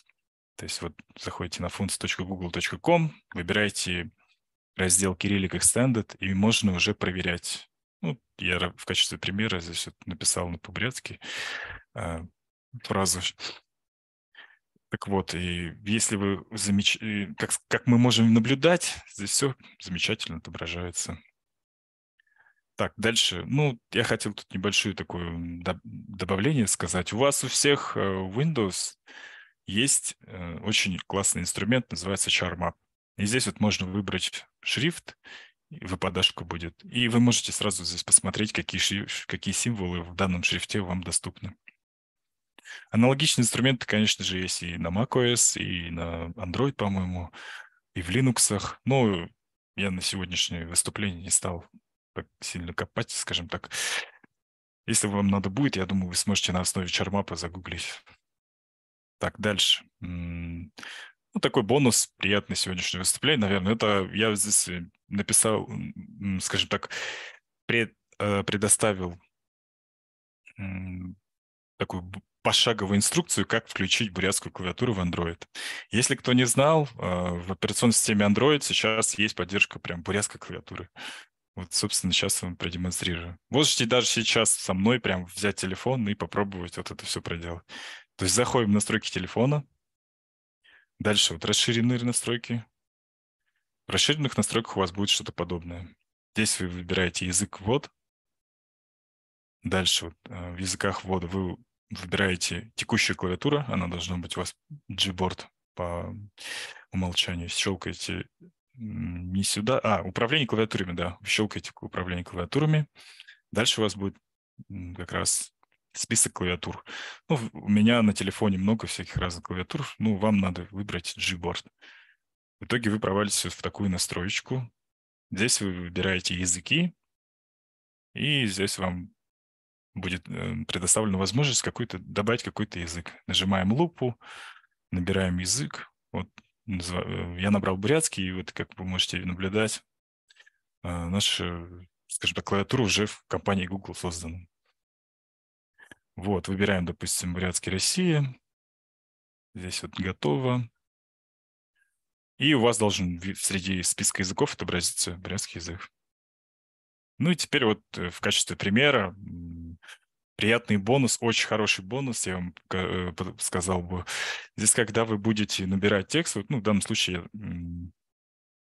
на примере Telegram, всем известного, да, мессенджера, я пытаюсь написать какое-то слово, вот я написал Байер, и здесь сразу эм, идет подсказки. Вы можете даже выбирать там тексты какие-то.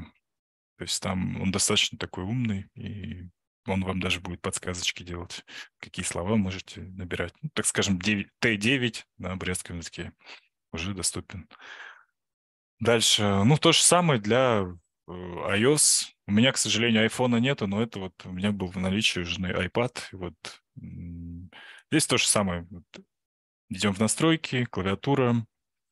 Там здесь также клавиатуры, русская, английская, здесь новые клавиатуры. К сожалению, на сегодняшний момент я даже, тоже должен вынужден вам сказать, что компания Apple не добавила бурятский язык в свои вот клавиатуры. Тут, тут нету, к сожалению, бурятской клавиатуры. Но есть э, как альтернатива казахская. Я еще, еще есть, э, скажем так, башкирская клавиатура. Вот у башкирской и казахской клавиатуры очень примечательная что в них примечательно, то что все знаками, э, все вот русскоязычные буквы, они на тех же местах. То есть она очень привычная. Вот, если вы можете заметить, здесь, кто обладает десятипальцевым методом, вот, все буквы на тех же местах. Но цифровые вот заменяются дополнительными символами. То есть здесь вот есть наши О, Х, У. То есть вполне себе можно использовать. Ну, тут использованы материалы, в общем, как-то так. Спасибо большое.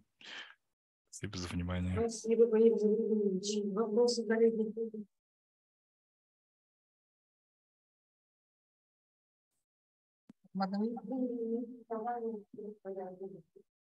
А?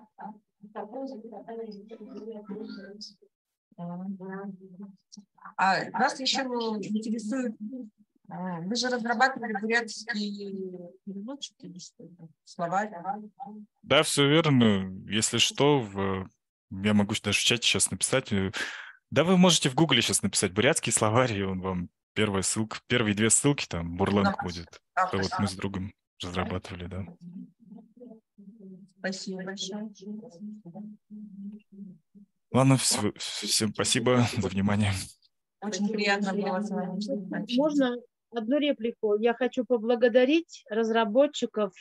Э, ну, вы же продолжаете дело Байрмаратовича Степанова, по сути, на таком высоком уровне. Хочу поблагодарить, что вы продолжаете это дело. Я думаю, вы как-то его имя там учитываете в своих разработках, вспоминаете, да? Ну, знаете, расскажу историю, наверное. Да, я, будучи студентом, действительно, с Байрмарадовичем нам приходилось работать в области бурятского языка. И мы вот с Борисом Маратовичем в свое время разрабатывали вот э, словарь. А, было дело, и там нанимали студентов прямо э, совместно с Борисом Маратовичем и Макаровой Ольгой Гармаевной. И мы, помню, да, привлекали студентов для работы, они вот э, корректировали тексты, вбивали прям вручную, это все было действительно. Но вот честно вам скажу, Любовь Немажаповна, там была интересная ситуация. До нас вот мы впервые вот с этим проектом выступили вот с Булатом э, на республиканском конкурсе грантов, фестивале грантов там был э, по IT, что-то такое. мы вот с э, словарем выступили и выиграли. И вот после этого, естественно, к нам внимание, там, в прессе, в газете, что-то везде. И вышли на нас родственники Байрама И мы вот с Ольгой Гармаевной все Э, объясняли, говорили, что мы не использовали Байер Маратовича труды в этом. То есть у него действительно, мы вот работая с Байер Маратовичем, там действительно уже был создан э, словарь, там был созданы вот эти вот студенты набили эти все, все дела. Но все эти наработки, они остались у Байер Маратовича на компьютере, и там все это осталось их семье, сыну его, по-моему, там. Мы вообще как бы, ну, тогда сразу предупредили, что мы, ну, экологично это все делаем. Конечно, если бы мы использовали э, наработки Байера Маратовича, я бы стопроцентно везде мы это все обсветили и написали. Поэтому, Любовь, э, Любовь Мажоповна, тут вот такая ситуация интересная. Ну, Конечно, я... Очень хорошая ситуация. Я вообще имела в виду, что вы просто параллельно, ну, продолжили эту работу, потому что очень много было, а, ну, много надежд возлагалось, поэтому вот это главное да, светлое имя Байрмаратовича я, конечно, буду чтить. И если что, при, при, как при возможности я всегда говорю, что да, да. действительно, Байрмаратович, то если бы не он, я бы, наверное, не занимался этим всем сейчас. Так что где-то на небесах я его благодарю, да. Спасибо,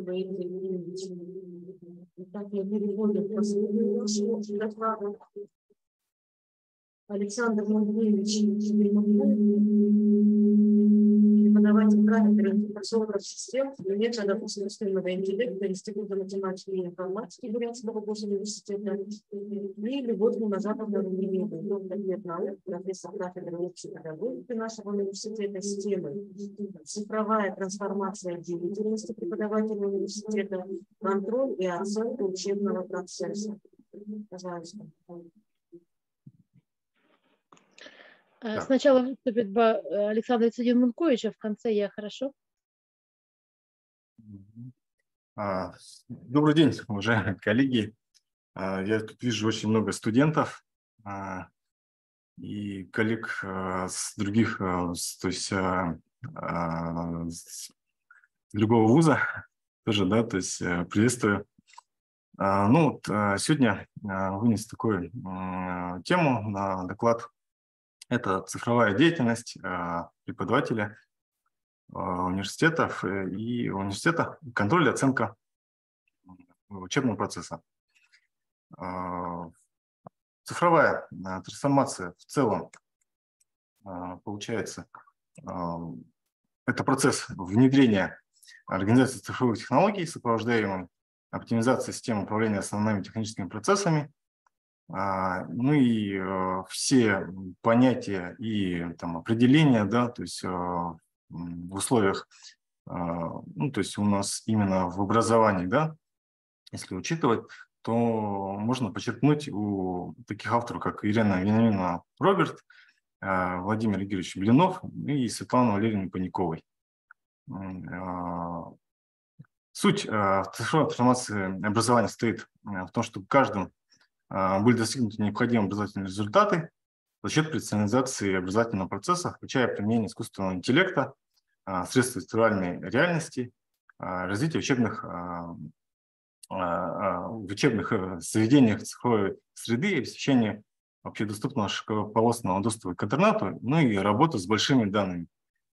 Ну и здесь на слайде показаны основные ну, задачи цифровой трансформации образования – они описаны более подробно у данных авторов, поэтому, ну, то есть можно будет их, давайте я их, наверное, озвучу, да, анализ состояния отечественного образования при переходе к цифровым технологиям и проблемы, вызванные этим переходом. Уровень компетентности преподавательского состава в отношении цифровых технологий, а, перечень наличия инструментов и ресурсов цифровой трансформации образования, используемых в образовательном процессе, ну и способы, а, способы и методы использования цифровых технологий с привлечением инструментов и ресурсов. А. Слайды не двигаются, по-моему, у вас.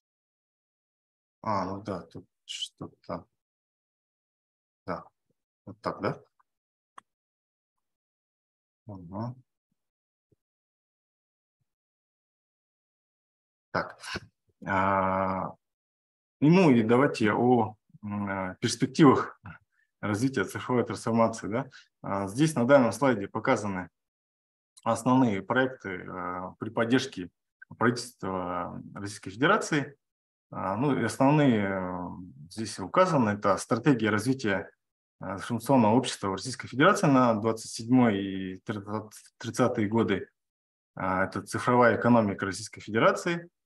Ну и приоритетный а, проект – это государственная информационная система современная цифровая образовательная среда ГИСТОС. Ну и так как я работаю в все знают, что в государственном университете и Бурятский государственный университет а, в январе был подключен к данному проекту в январе 2022 года об а, информационном взаимодействии. Мы подписали соглашение а, на, пять, на, на, на пятилетний период. Ну, наверное, в дальнейшем с учетом в развитие, да, то есть э, это будет, то есть, ну, возможно, дальше будем продлевать. А, а, цифровая трансформация вуза. Основное направление цифровой трансформации вуза является переход к управлению основанием данных, то есть на и предпосылками для цифровой трансформации вуза является наличие неавтоматизированных процессов, отсутствие аналитических инструментов для принятия решений, а, отсутствие прозрачной схемы прохождения документов, ну и другие, да, то есть немаловажные. То есть, ну, здесь они не отражены, то есть я самые основные указал. Ну и, а, и вот на основе а, анализа существующих информационных сервисов будет реализовываться ряд проектов в нашем ВУЗе а, поэтому на, данном, на следующем слайде то есть, э, показано, то есть а, мы, а, наш ВУЗ, получается, утвердил стратегию цифровой трансформации до 30 года. И ну и самой главной целью цифровой трансформации является создание устойчивой модели развития университета, а, способного эффективно работать в условиях цифровой экономики и своевременно реагировать на технологические и социально-экономические вызовы за счет широкого применения цифровых а, технологий. Ну и, а, и для достижения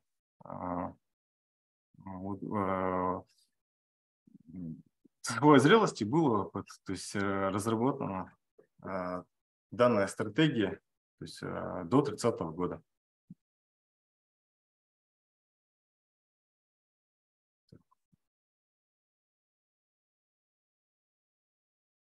А, проблемы цифровой трансформации – это отсутствие развитой методики внедрения цифровых технологий в педагогический процесс – отсутствие универсальных авторских методик обучения с использованием ресурсов цифровой э, среды, это как применение современных мобильных устройств, э, гаджетов, интерактивного оборудования, а также веб-сервисы, ну и альтернативное программное обеспечение в образовании. А, ну и низкие технические возможности университетов, отстающее технического оснащения, что не позволяет проводить качественную подготовку, а студентам выбирать формы и методы обучения на различных типах занятиях, а, развивающей цифровой э, образовательной среде, обеспечивающей возможности прямого дистанционного а, информационного взаимодействия. Ну, я как ранее говорил, что были проработаны как раз, ну, то есть разработки, ну, не разработки, а авторов, таких как Владимир Евгеньевич Блинов. У него в его работе очень хорошо описаны функции преподавателя условий цифровой трансформации вуза. А, то есть они представлены на слайде. А, это как э, проектирование форм и методов обучения рабочих материалов, а также средства диагностика, а, формирующего оценивания. И это на основе создания локальной образовательной среды конкретного учебного курса, насыщенной развивающими возможностями, проектирование сценариев учебных занятий на базе многообразных динамических форм организации учебной деятельности посредством цифровых и нецифровых технологий, организация индивидуальной, командной, в том числе самостоятельной и проектно эм, э, распределенной сетевой деятельности, обучающихся в цифровой образовательной среде, а, проектирование организации ситуации образовательно значимой коммуникации, в том числе сетевой, организация рефлексивных обсуждений личностно значимого опыта, формирование и развитие критического мышления в процессе поиска и отбора информации в цифровой среде, управление учебной мотивацией обучающихся, а, в том числе при работе с группой, а, с, при работе с группой с использованием инструментов а, фасилитации, да, а также ролевых областей успешного взрослого успешного профессионала. Интеграция жизненных пространств цифрового поколения, ну и постоянное конструктивное взаимодействие с другими педагогами.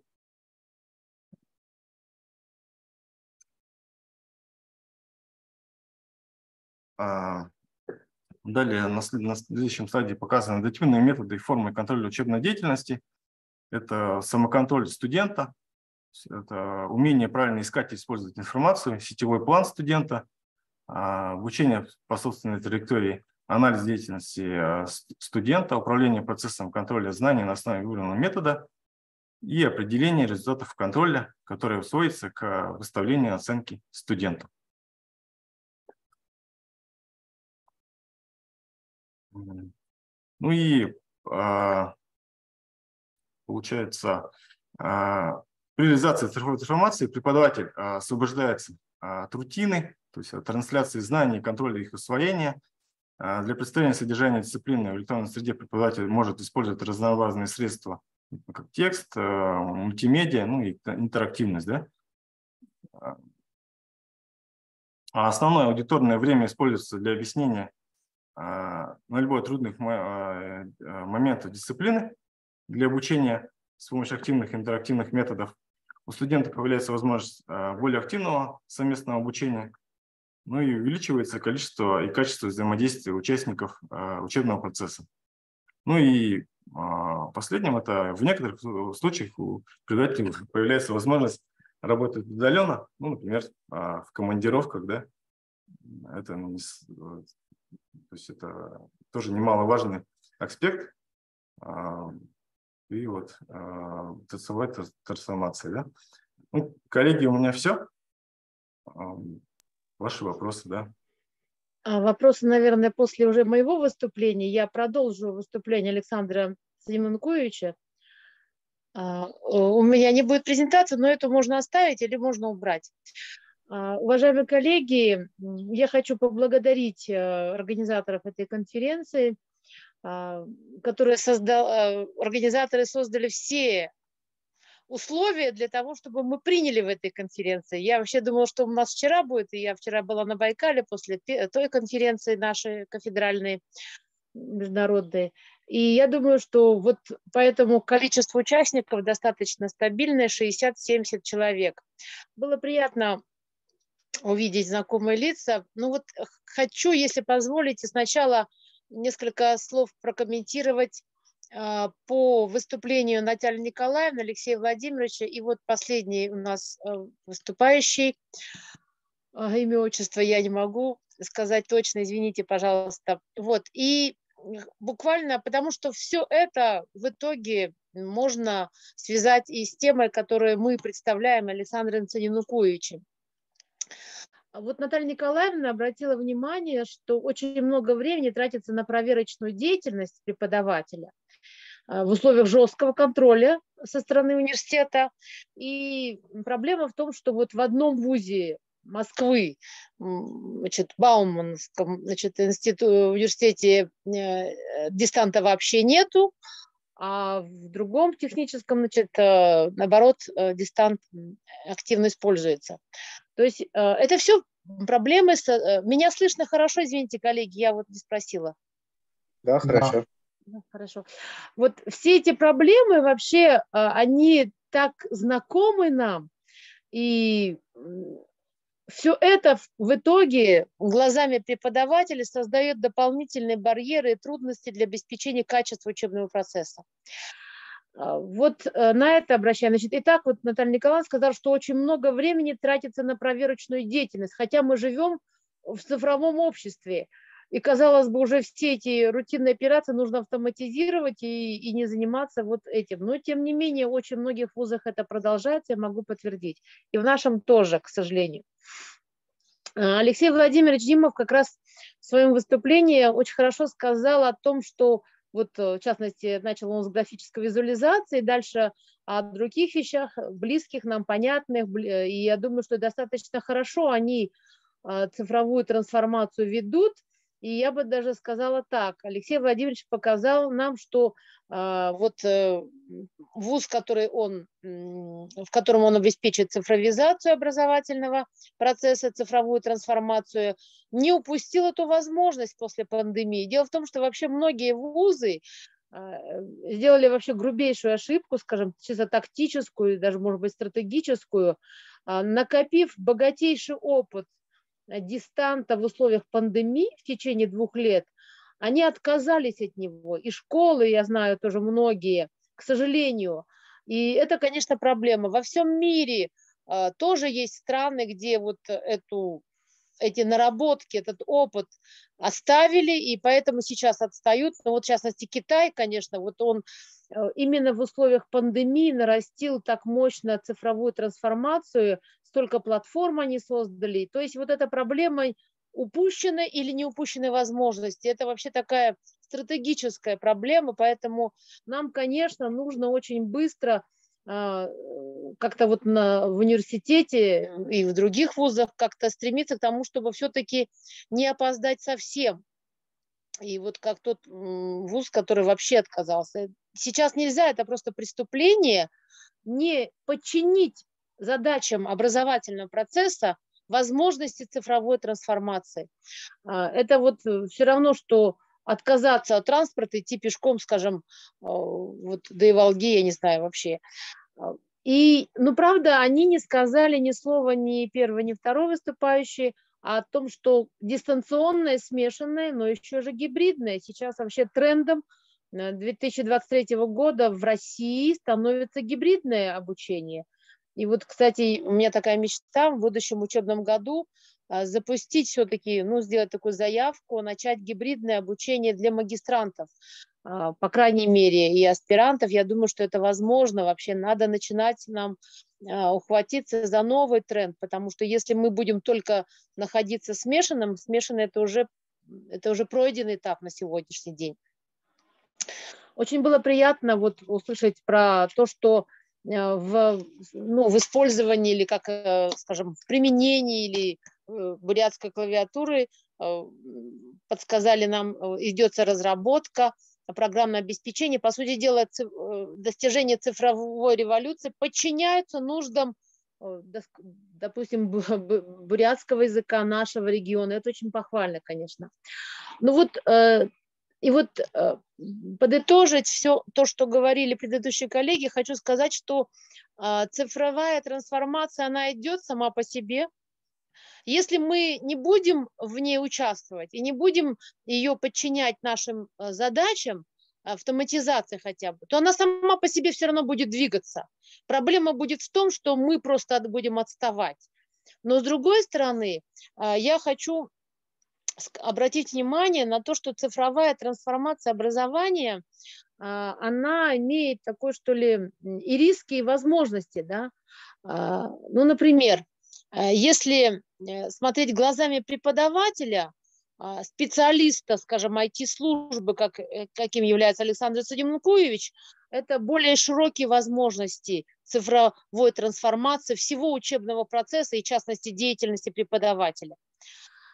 А с другой стороны, глазами, ну, скажем, преподавателя, гуманитария, скажем, каковым я являюсь, хотя я, в общем-то, имею диплом преподавателя информатики, все-таки я больше гуманитарий, а, вот эти возможности все время приходится мечтать о том, оказывается, вот это все уже есть в нашем университете, например, все эти возможности есть. Мы просто вот до нас, до пользователя многое не доходит, мне кажется. И вот эта проблема внедрения, она всегда останется.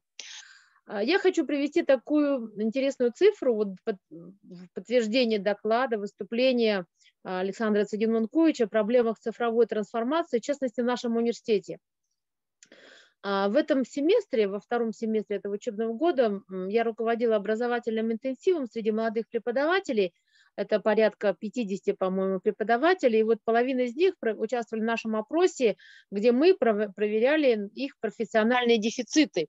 И вот, в частности, мы э, выяснили, что а, в отличие от э, тех поколений лет 10, может быть, 15 и даже 5 назад э, преподавателей, существует проблема дефицита дидактических и методических компетенций. Ну, например, им, им э, важно, как стимулировать студентов, как развивать их, там, скажем, а, учебную активность, как их контролировать.